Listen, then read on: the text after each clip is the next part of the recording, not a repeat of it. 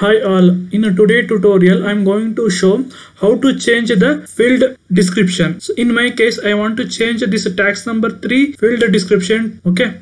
So first keep cursor on this field, press F1 key, go to technical information, copy the data element. Okay, once you copy just close this window, close this. Now go to T code CMOD T code is C M O D press enter key या okay here click click in menu bar click on go to text keywords click on change या here just paste paste the data element once you paste click on the continue button या here change this all five field text okay here G STIN number. Okay here also change.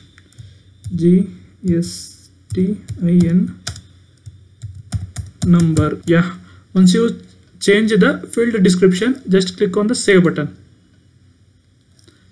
Save this in in new tr just click on this create request button. Enter the description. Okay once you enter the description click on save button.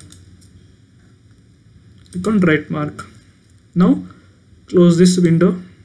Now we can cross check in xk03 t code slash n xk03 click on enter button. See here now. Now uh, number uh, tax number 3 field is changed to GSTIN number. Okay. Now we can check it in uh, table. Okay. Slash n is 16 n.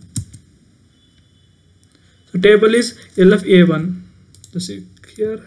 Control f. This is the field name. Yes. Here also it's changed.